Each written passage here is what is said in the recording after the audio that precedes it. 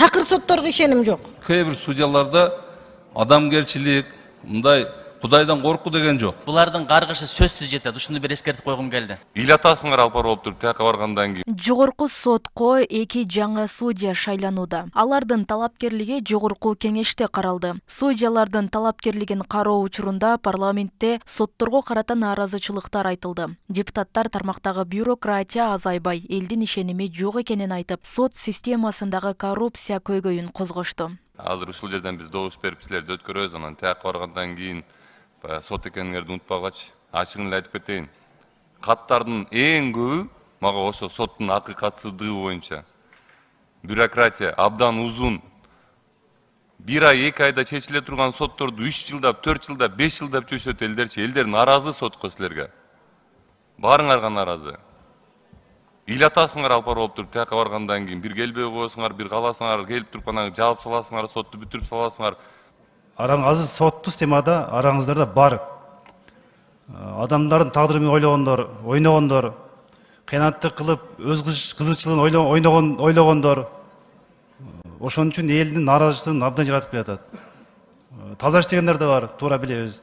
Бирок ошондой барып алып ушул жерден биздин да добушту алып бизди себепкер кылып баргандан кийин анан чөйрөгө кирип өзүнүн баягы кыянатчы кылгандар да бар. Зулумдук кайтып келет дейт бир туура эмес бир заказдарды аткарып же билбейм бирөөлөрдөн анча мынча туура эмес бир каражаттарды алып алып ошолордун пайдасына мыйзамды буза берсеңиздер бул кайта турган нерсе экен да зулумдук деген. Ушуну эскертип коеюн зулумдук узап кетпейт дейт кайтып келет дейт баягы бекер айтпайт кыргыз тешип чыгат жарып чыгат деген сөз бекер эмес да анан мына мисалы канча жарандарыбыз бар бир сот процесси менен он жылдап жүрөт биринчи инстанциядан бирөө утат шаардан райондон экинчиси утат анан областтан үчүнчүсү утат жогорку сотко келгенде бузуп коюп кайра баштан жиберет ал адамдын тагдыры убактысы энергиясы өмүрү кетип атпайбы депутат камила талиева соттордун токсон тогуз пайызына элдин ишеними жок деп эсептейт. Ага бир мисал катары элдик курултайда сотторго байланыштуу даттануулар көп болгонун белгиледи. Сынга көмүлгөн сот системасына болгон нааразычылыктар коомдо дагы бар. Ал гана эмес кыргыз фемидасынын тараза ташы так эмес деген түшүнүк калыптанган. Бар бийлик эмне үчүн нааразычылык эмнеден башталат? Сотторго ишенбөөчүлүктөн нааразычылыктан. Мына бүгүнкү күндөгү статистиканы да караңыздарчы такыр сотторго ишеним жок мына кечээ курултайда дагы президентке ушул маселени көтөрдү келген делегаттарчы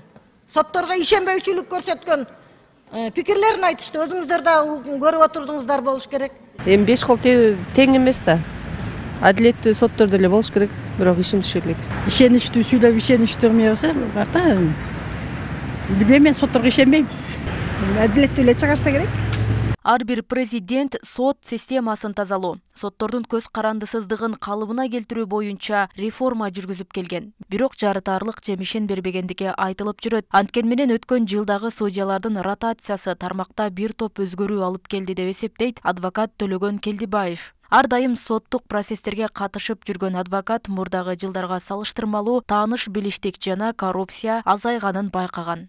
Бүгүнкү күндө мисалы ош шаарынын деле азыркы курамында ысык көлдөн нарын талас ар жактан келишкендер мурдагыга караганда мен мына областный адвокатурада иштеген адам катары айта турган болсом жылыш бар өзгөрүү бар. Болбосо мурда областтык соттон мен канча процесстерге катышсам дагы эч ута албайчу элем да канча процесстерге катышсам дагы ушул облус соттон утканга эч мүмкүнчүлүк болбойт эле да. Себеби ал жер коррупцияга баткан мекемеге айланып кеткен да.